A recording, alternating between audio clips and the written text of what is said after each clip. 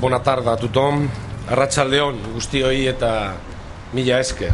Buenas tardes a todas y a todos y déjenme en primer lugar dar las gracias a la Asociación Catalana de Víctimas de Organizaciones Terroristas por lo que son, por lo que representan, por lo que significan y también, como no, por haberme invitado a participar en este acto. Un acto que nos reúne en torno a la cicatriz más grande del horror y de la crueldad del terrorismo etarra. Han pasado 25 años, pero los sonidos, las voces, las imágenes del miedo, del dolor, de la muerte permanecerán grabadas para siempre en nuestras memorias. Y el tiempo, por largo que sea, nunca podrá borrar la barbarie de Hipercor. Han pasado 25 años y sé que no es un día fácil para nadie, y menos para las familias de las personas asesinadas, para los heridos, para los afectados, porque este acto evoca de nuevo, rememora otra vez, una herida llena de ausencias que nunca se va a poder curar. Tenemos muchas heridas tras 40 años de terrorismo. No hay prácticamente día en el calendario que no tenga el rastro de sangre dejado por ETA. Hoy también se cumplen tres años del último atentado mortal producido en Euskadi, el que asesinó al inspector de policía Eduardo Puelles, al que quiero recordar desde aquí enviando a su familia todo el calor de nuestra solidaridad. Tenemos muchas heridas, pero hemos acumulado también mucha dignidad. Porque la lucha contra el terrorismo de ETA ha sido una lucha larga, llena de dolor y de sufrimiento, pero ha sido sobre todo una lucha ética, de valores profundos, de principios democráticos, de dignidad y de decencia. Porque no se ha tratado solo de detener a los terroristas, sino de defender un ideal de convivencia radicalmente alejado del suyo. La democracia frente al totalitarismo.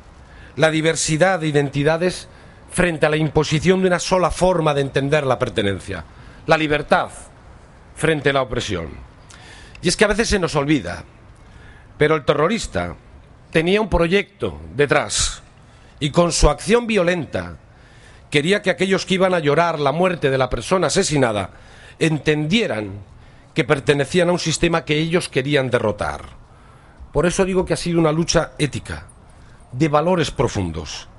Y en esta lucha, las víctimas y los familiares de las víctimas habéis sido nuestro referente moral. Una resistencia cívica contra el olvido.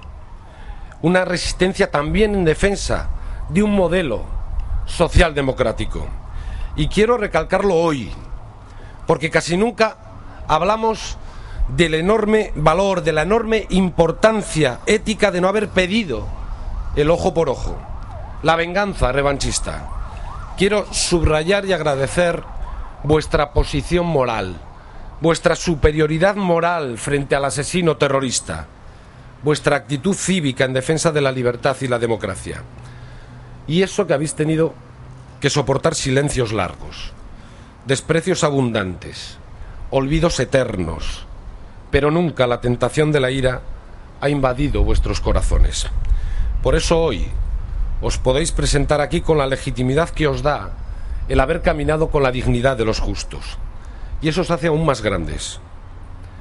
Hoy es día de lágrimas para vosotros y vosotras, pero me gustaría también que fuera un día de esperanza porque por fin podemos ofrecer a la memoria de las personas asesinadas la mejor ofrenda, haber ganado al terrorismo.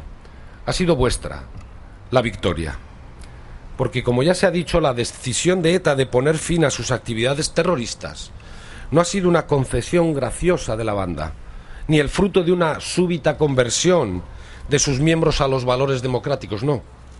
ETA lo ha dejado porque ha tenido que desistir empujada por la política de firmeza democrática, de tolerancia cero que hemos llevado a cabo los gobiernos, por la defensa del derecho y de la ley, para garantizar que las instituciones democráticas no fueran utilizadas para dar cobertura a las tesis totalitarias favorables al terrorismo, por la eficacia de la acción policial y judicial desarrollada en nuestro país, por la ayuda y la colaboración de otros países, por la deslegitimación ética, social, política de los postulados que habían dado cobertura a la violencia y por la resistencia cívica de quienes no consintieron, por el ejemplo y el coraje de tantas y tantas víctimas que en los peores momentos han sabido resistir y no ceder ante la marginación y la amenaza.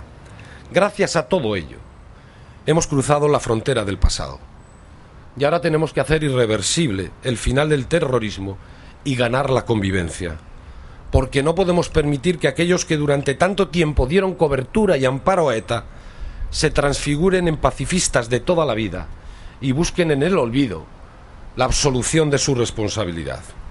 Y tres principios deben de guiarnos en este nuevo tiempo sin violencia. Verdad, justicia y democracia.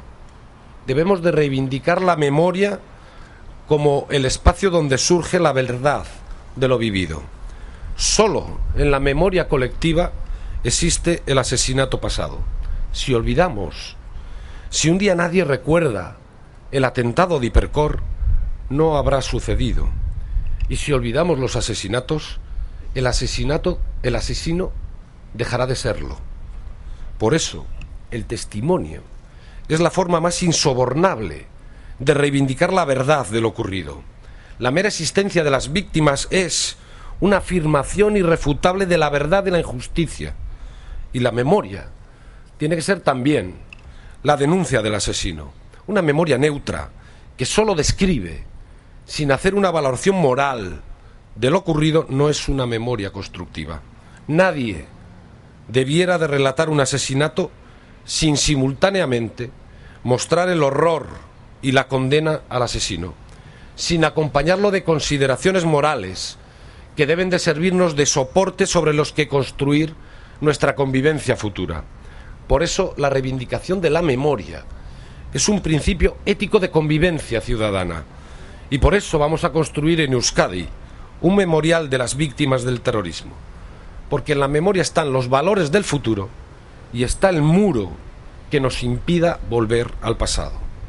Y en este nuevo tiempo tampoco podemos de ninguna manera renunciar a la justicia. La justicia es la única forma de resarcir la legalidad rota por el terrorismo. La justicia es la única manera de reconocer el daño causado a la víctima y a la sociedad. La justicia es el camino para superar el pasado terrorista y fortalecer la democracia. Por eso todo dentro de la ley y nada fuera de ella.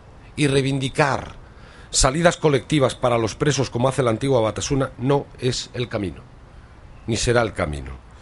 Y decía antes que ETA no solo ha atacado a personas y a bienes, sino que ha impuesto limitaciones al debate público en Euskadi porque su objetivo principal era el propio sistema democrático y sus instituciones.